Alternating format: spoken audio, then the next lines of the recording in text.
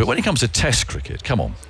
What we've witnessed over the past couple of years has been a transformation in the results of the England side, but, but more strikingly in, in how the game has been played. After one win in 17 tests, including a heavy defeat in the Ashes and a very disappointing loss in the West Indies, there was no doubt that the team needed to go in a new direction. And of course, they turned to the former New Zealand player Brendon McCullum, and Bazball was born. Well, the story of that amazing turnaround is told in a new book called Bazball, the inside story of a Test cricket revolution, which is published today. It's written by Nick Hoult from The Telegraph, I think is on his way out here, uh, and Lawrence Booth, the editor of Wisden. And of course, uh, Lawrence is here. Bazball, then, you, you, and Nick have got this book out pretty quickly, haven't you? If it's, is, yeah. is, is, it today it comes out? It's published today uh, right. uh, by well, Bloomsbury. Well done, congratulations. Thank you. Yeah, it was, it was kind of, it was a hair-raising experience at times because we were writing it during the Ashes, and of course, when England went 2 0 down at Lords, yes. I thought this is not going to play well with the, the theme of this book. Which so you're always going to write about Bazball before the Ashes? We were, yes. Okay, right. And the Ashes was going to be, the, in in theory, the sort of icing on the cake. we not that we necessarily expected England to win, but we thought yep. it would be a good series. And as it turned out, it was a good series. But at 2 0 down with the knives out after that performance at Lords, with everyone getting yep. out to the short ball. Remember, you had a chat with Ben Duckett, didn't you? Which sort of, yes. Well, I think we mentioned in the book actually. um, uh, so we thought, well, this could be interesting. And then England deprived by rain in Manchester. Yep but then fighting back at the Oval. But even on the last day at the Oval, look, it rained in Australia. What three down, four down, going into that rain break. It was 4 p.m. when play resumed, and for the sake of the book's narrative, an England win was, was nice, and a two-all a two-all sort of comeback wrapped it up nicely. But it was you know it was interesting at times. It was it was a fascinating series. I, I don't think it beat 2005. I think some people actually perhaps over-egged it a bit, but it was, there was a lot to, to, to love about it in a sentence, and, and I think we, well, I, I don't know, I did. I'm, I'm, perhaps putting everyone in this, but I, we were all searching for sort of a definition of Bazball. Yeah. Uh, to give it the name that, that Baz himself doesn't like. Yeah. Um, have, have, you got a definition in a sentence of what, what it actually is? Well, it, it's a it's a mindset that allows you to remove the fear of failure. Essentially, yes. that is what McCullum has sort of inculcated in the team. It's quite a trick to pull off because, of course, we all know in this sort of small cricket world that cricket matters to us and it matters hugely to the players. But McCullum and Stokes managed to convince the England Test team that it didn't matter as much as everyone said it did, and that gave them a certain freedom.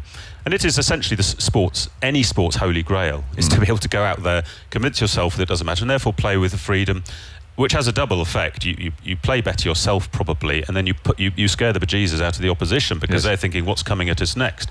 And though of course England lost that first test at Edgbaston, I mean they should have won. Let's face it. Yes.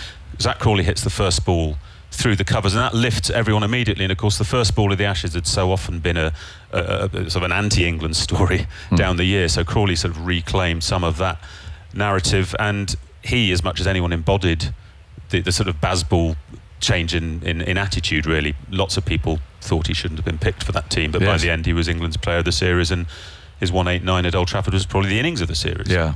And, and in a way, to cement that mentality of without fear of failure, he had to play, didn't he? I mean, if they if they had actually said, "Don't worry, if it goes wrong, you're not going to be dropped. We've got total faith in you." But sorry, Zak, you're dropped. Absolutely. I mean, they, they, so yeah, actually, yeah. he was quite quite sort of a litmus test in a way of, of, of it. He was, and he and he admitted he was lucky. I mean, he thought after that tour of New Zealand where they lost the second test by one run, uh, he was out. He was done. And you look at guys in the past like say Graeme Hick or Mark Ramprakash. How might they have fared in yeah. a setup that backed them Indeed. consistently? Um, so, you know, Bazball—they've only dropped a couple of players, really. Alex Lees at the end of the 22 summer did yep. go to Pakistan. By the way, he set last summer alight with Durham, really, you know, averaging 70 odd with a very high strike rate. And Ben Foakes, who had to yep. make way, and that was, of course, a, a big issue because Bairstow was the standard bearer of Bazball when it started in 2022, broke his leg.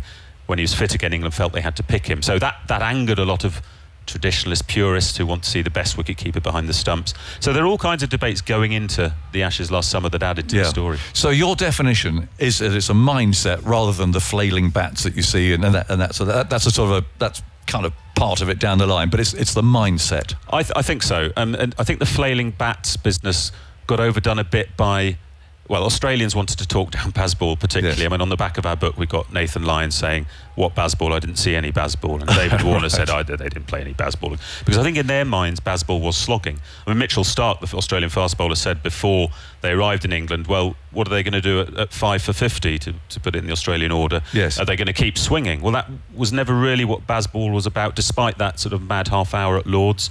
Uh, where it looked like they'd fallen into all the short ball plans that Australia had set for them, but I Yeah. think they recalibrated after that and played slightly smarter cricket. Um, you know, came out at Headingley and got themselves out of a tricky position. What were they, 140 for seven at lunch on the Yeah. second day in reply to 263? And at that point, you're thinking, 3 0 looks the most likely score at this point, and, Yeah. and we could be in trouble. You see, I- but you could quote. I, I love the figures that you have here. The comparison uh, with Zak Crawley and Usman Khawaja, actually. Yeah. Because that, that really does that that defines it, doesn't it? In that uh, the runs that they scored, Khawaja basically scored in the series 16 runs more than Crawley did, but it took him personally 120 overs to score those 16 runs. It's astonishing. And, and that that doesn't that absolutely sort of encapsulate what this whole thing is about? That Yeah. those are 120 overs. How much use would they be? Now, on the other hand, and I mentioned them to Finney actually uh, beforehand. That's, that's incredible. He said, "Yeah, what about our bowlers? You know, they never got a chance. They never sat down for five minutes." And of course, that is the counter argument, isn't it? That actually, yes, England scored those runs so fast that England's bowlers were out they go again, puffing away, and, and didn't have the rest that they needed. So it's it's it's a bit of a fine line. But Absolutely. that that comparison's fascinating, I think. Yeah, I mean, the, the, the Ashes was a was a clash of philosophies as much as anything. Yeah. Australia came to England determined to show that you could win in the old way, and Khawaja was the absolute personification of that. Um, he, he actually went. He went more into his shell as the series progressed a bit, almost like he was making a point. He was the anti-Baz baller, and he wanted to show that that, that way could work. In fact, you know, without him, Australia wouldn't have won at Edgbaston, uh, 140 Yes. and, and 60 odd. But they might also have lost that game because he batted so slowly on the last day. And don't forget that when Australia's eighth wicket fell, they still needed 54 or 55. Absolutely. And generally, you don't win matches from that position. So England might argue that everything they'd done up to that point in that game, including the controversial first evening declaration, was justified. They'd built a winning position. It's just they couldn't finish it off. Um, but no, the, the contrast between Khawaja and Crawley was, was fascinating. Yeah, and they it were is. both excellent in their own ways. What did you come across with that declaration? Who, who, who have you talked to, and, and, and what sort of different different input have you had about people's views about whether that that was right or not? they, the players mainly defended it as you'd expect because Yes. their view was that uh, it was very much in keeping with Stokes' attitude, which was that against a good team like Australia, you have to seize little windows of opportunity to get on top of them. And his idea was that that evening, if we take one, Yep. if we reopen the Stuart Ward, Broad v David Warner debate, Nip a couple out. nip a couple out, we are in Yeah. total control of that game. It's like an old three-day championship match. Yeah, it was a bit. Exactly right. Yeah, and of course, and some people felt it was hubristic by England. No, Joe Root was 118 not out, hitting the ball very nicely. Robinson was at the other end, playing quite well. Couldn't they have batted on, made 450 the next day? From which point they probably wouldn't have lost the game. But I spoke to Mike Brearley, and he was, you know, he was in two minds about. He, he said I wouldn't have declared that night. No. And yet. Uh, Stokes was absolutely adamant he was going to stick to this philosophy. And fair play to him. 2 0 down. I mean, Brendon McCullum came out after Lords. We were standing on the outfield chatting to him, and he said, 3 2's got a nice ring to it. I mean, this is the, the kind of talk you would not have got from previous regimes. And yet, with McCullum saying it, you could sort of half believe it. And he Yeah. wasn't far off um, being, being correct on that. And, and had England sort of taken a backward step at that point, th- they might have lost 4 or 5 nil. Yes. Um, I think it's only because they could, decided to keep going for it that they. Uh, they kept the pressure on Australia with the, the results we saw. They, they do say some strange things. they think, I mean, whether they think we actually believe it or not. I mean, I interviewed Stokes at the start of the series, as always, and I said, "Is this approach going to win you the Ashes, Ben?" And he thought about it. He looked at me. He said, uh, "Well, yeah, obviously hoping so, but if it doesn't." and I thought at the time, what an extraordinary thing to say. Um, you know, you know, shrugging his shoulders. And where do you think they mean that? No, he obviously wanted to win the Ashes, but it, it was all part of a device to take the pressure in his mind off the players so that you concentrate on the, I mean, it's not cliche, isn't it? You concentrate on the process, not the outcome.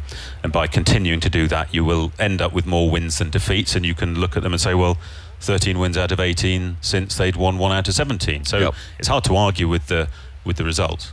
It's it's it's worth just going back to. I don't know if you were there. You probably were. I haven't seen that. But were you there in Grenada? No, I wasn't there for that tour. Uh, but Nick, Nick would was been there, there. yeah. Yeah, Uh, and I was there, and it was it was just terrible. It was just horrible, wasn't it? I mean, it was just a car crash, um, red ball reset, and all that stuff that we had had, um, and to pick it up from that.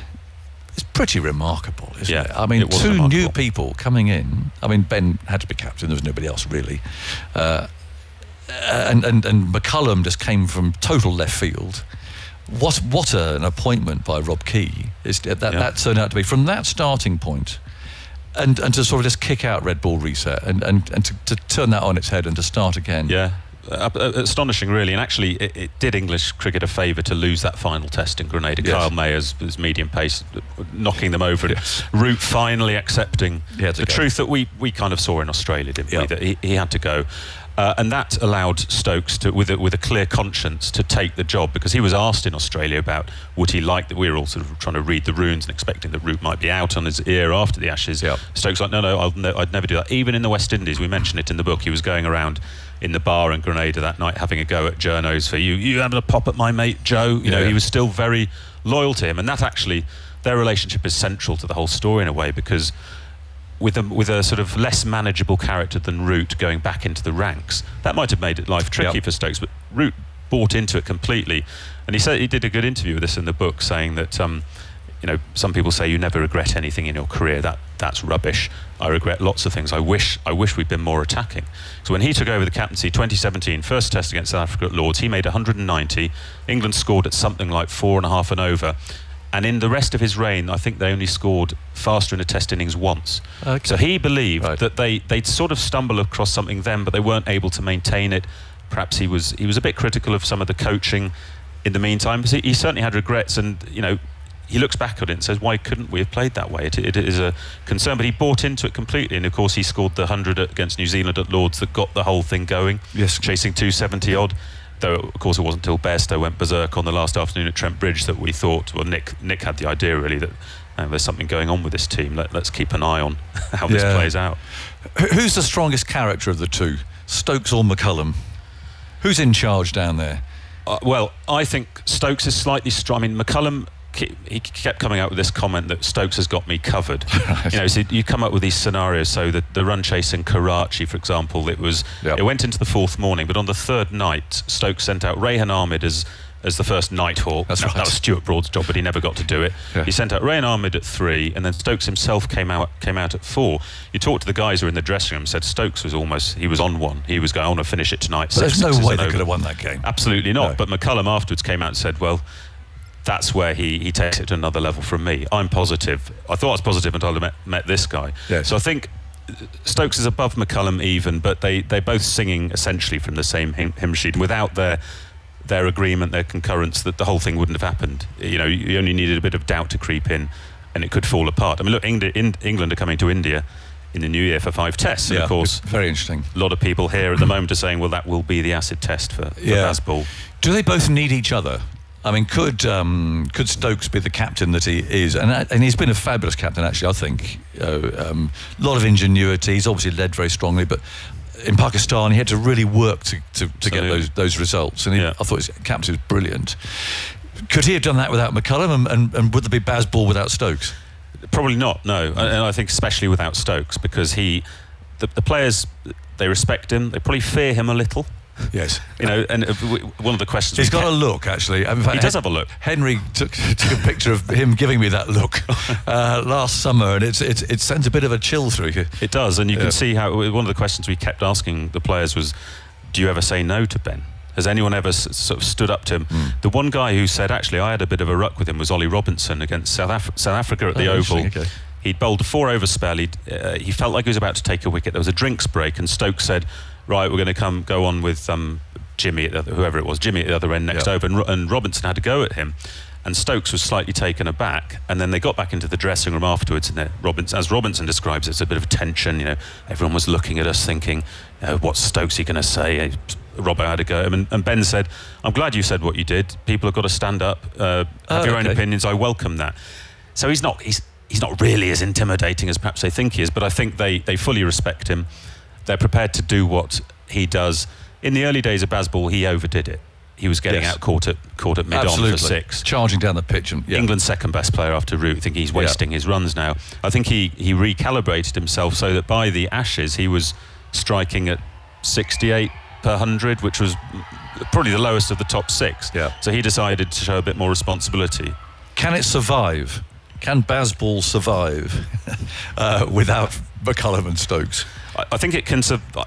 Well, they'll probably both go at roughly the same time. I mean, Stokes' knee means that Yeah. if we get another two years out of him, we'll be doing well. McCullum's contract ends in a couple of years, um, so they'll they'll do they give it their best shot. But if Ollie Pope is say the captain, um, you, you can't possibly recreate the X factor No. that Stokes has. That's no you know criticism of Pope, who'd be you know probably be a good England captain, but. We may be looking at a kind of moment in time where everything has come together beautifully, a perfect storm that'll be tough to recreate, and therefore it was a story we felt we'd better tell before it's Yeah. over. Well, I, I appreciate my early copy, Lawrence, and thank you for coming to talk to us. And very good luck to you and Nick uh, with it. It's, it's, it's a really interesting read. And yes, uh, you should go through the index, and Duckett's interview is in there. Thanks, Aggers. Thank you for that. and Good luck, uh, Lawrence, with that.